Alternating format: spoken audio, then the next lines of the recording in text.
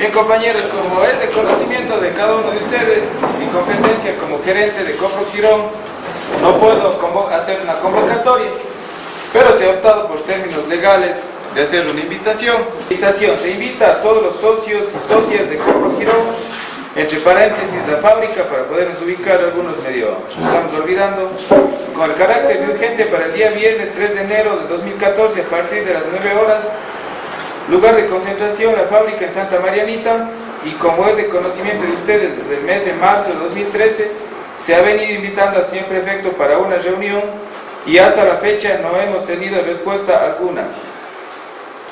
Por lo que se ha decidido, por lo que se ha decidido según una de las resoluciones, de una de las opciones planteadas en la última asamblea de socios de Copro Girón, es de tomarnos las instalaciones de la fábrica en forma pacífica y así exigir la presencia del señor prefecto y tomar conjuntamente las resoluciones que vayan en bien de la compañía mixta La Cubones.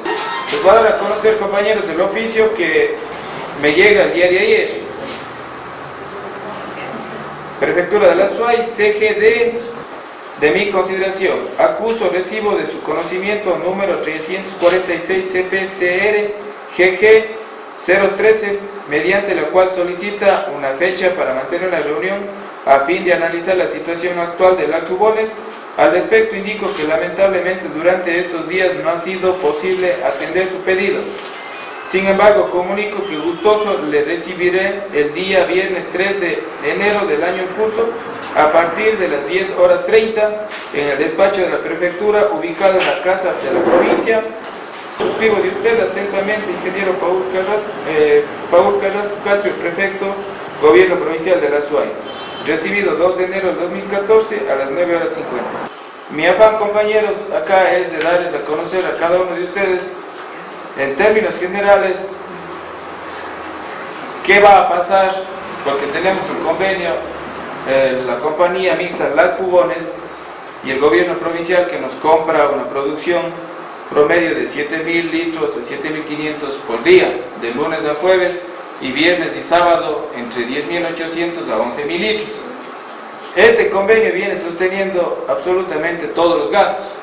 Tenemos un departamento de ventas que obviamente según el informe que me pasó el señor gerente hace tres semanas, solo el departamento de ventas gasta alrededor de 8 mil dólares compañeros, no sé si ustedes en realidad apoyan a que se siga manejando la empresa así o que debemos tomar, o sea, tomar o exigir a la prefectura, o sea, que, que se genere las utilidades que se deben generar. O sea, no es que estemos exigiendo que salga el gerente ni nada por el estilo, sino si nos vamos a reunir con siempre o sea, exijámosle, o sea, que les ponga metas.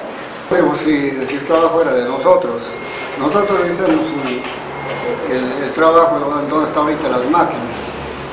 Y él debía estar de acuerdo con todos para él, mejor dicho, ya podría estar pasando algunas ganancias porque no hemos empleado mucho dinero.